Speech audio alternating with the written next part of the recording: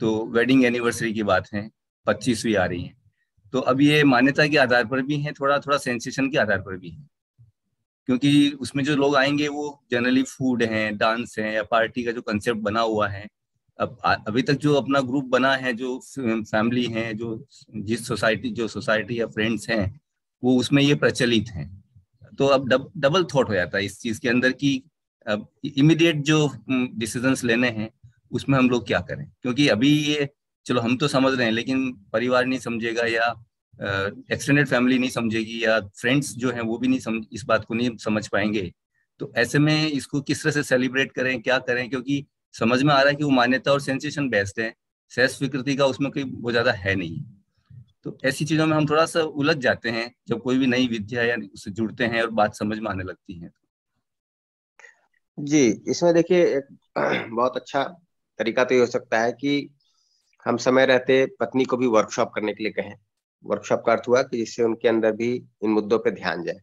Workshop कर लिया workshop कर लिया है उन्होंने और थोड़ी उनकी भी समझ बनी है लेकिन कहीं कहीं वो भी ये मान्यता और संवेदना पर आधारित है उनका भी अच्छा एकदम से डिसीज़न चेंज करना या एकदम से अपना आपको सोसाइटी या एक्सटेंडेड फैमिली में अपना चेंज को रखना एकदम से उतनी हिम्मत नहीं होती। हाँ देखिए उसमें तो थोड़ा निर्णय लेने की बात होती है। क्या होता है ना अपने पास दो चॉइस है या तो सोसाइटी के अनुसार चले या हम समझ के अनुसार चले और सोसाइटी में धीरे धीरे ट्रांसफॉर्मेशन लाए। तो क्या होता है कि एक बार आपने खुद ऐसा कार्यक्रम बनाया सोसाइटी से जुड़कर फिर उसी सोसाइटी के सामने जब आप सही का प्रस्ताव लेके जाते हैं तो सोसाइटी के लोग आपको गंभीरता पूर्वक नहीं लेते हैं। तो शुरू में तो थोड़ा सा आपको जी आवाज़ आ रही है? मेरी आवाज़ आ रही है? जी। तो शुरू में तो ऐसा हो सकता है। भैया थोड़ा रिपीट भैया थोड़ा रिपीट करेंगे क्योंकि बीच में आपकी आवाज़ बीच में कट गई थी तो एक बार आपको थोड़ा रिपीट करना पड़ेगा। हाँ मैं कह रहा हूँ कि अपने पास दो चॉइस है। या तो समाज में प्रचलित मान्यता के अनुसार हम जिए उनके दबाव में उनके प्रभाव में जिए या दूसरा हम समझ के आधार पर जिए और समाज को धीरे धीरे ट्रांसफॉर्म करें। समाज को बदलने का काम करें। देखिए, पहले वाले केस में तो ना हमारा सुख है, ना दूसरे का सुख है। फॉर एग्ज़ाम्पल अभी समाज में शादी ब्याह पे बहुत ज़्यादा खर्च होने लगा है, ठीक है ना? आप बहुत सारा पैसा खर्च करके शादी करिए समाज के दबाव में, ठीक? एक तो हम उससे दुखी रहते हैं और भय रहता है कि आगे इतना सारा कर्ज हो गया या खर्च हो गया, ठीक? जो दूसरा बच्चा है, उसके लिए शादी के लिए इतने कहाँ से जुटाएँगे? बुढ़ापे के लिए कहाँ से बचाएँगे? तो बहुत सारा खर्च करिए। उसमें हम दबाव में आते हैं, उसमें हम भय में आते हैं, चिंता होती है, ठीक? कई बार उससे संबंध भी खराब हो जाते हैं। अगर इतना सब कुछ करने के बाद भी बच्चे का संबंध अच्छा नहीं चला तो अफसोस भी होता है। जो व्यक्ति ऐसी महँगी शादी में आता है, वो भी कोई बहुत सुखी महसूस करता है, ऐसा नहीं, वो दबाव में आ जाता है कि जब हम इनको अपने यहाँ शादी में बुलाएँगे तो हमें भी यही सब करना पड़ेगा। इन्होंने पचास लाख खर्च कर दिए अपने एक बच्चे की शादी पे, अब मुझे भी अपने बच्चे की शादी इतना करना पड़ेगा, नहीं तो इनको हम कैसे बुलाएँगे? ये आएँगे और हमारे ऊपर हंसेंगे।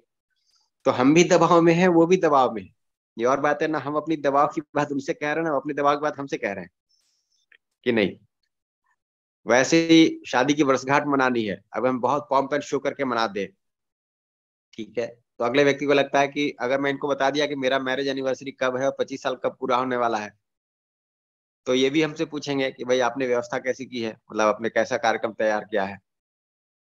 ठीक तो वो भी दबाव में आएँगे। वो फिर ज़्यादा अच्छा है कि इसका सही स्वरूप ले आए कि ये जो पच्चीस वर्ष हमने गुजारे साथ साथ, ये कितना सुखपूर्वक गुजरा, कितना नहीं गुजरा, है ना? उसको हम एक बार मूल्यांकित कर लेते हैं। आगे कैसे सुखपूर्वक गुजरे, उसके लिए तय कर लेते हैं। और इसमें ज़्यादा अच्छा होगा कि एक अच्छे अवसर पर हम समाज के ढेर सारे लोगों को बुलाएँ, जिनके साथ हमारा अच्छे से निर्वाह भी होता रहा है है ना?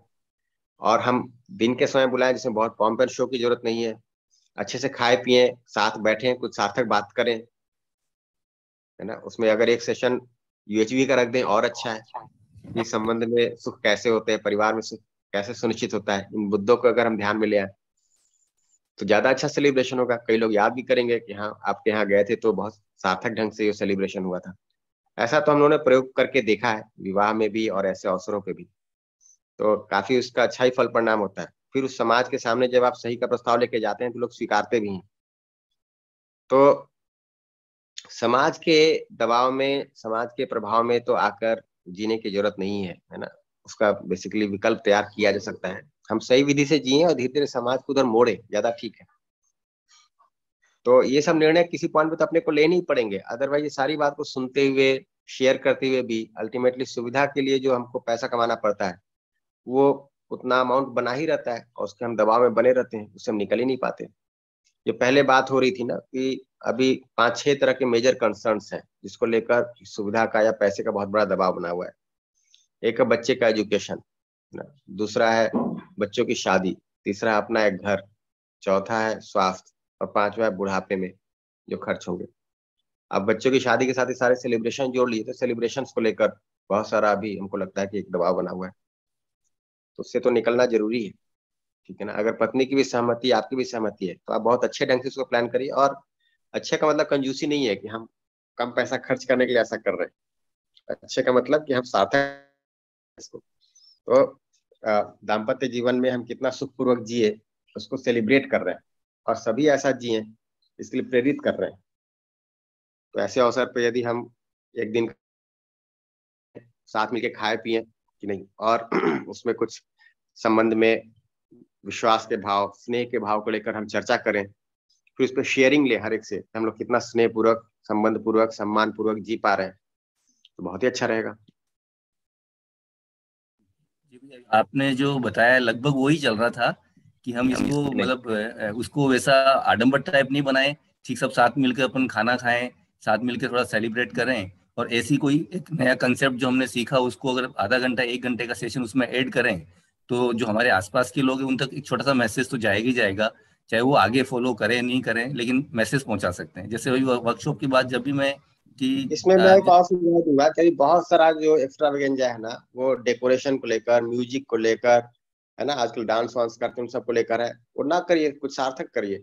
खिलाने पिलाने पे बढ़िया स्वास्थ्य वर्धक पौष्टिक भोजन सबको कराइए।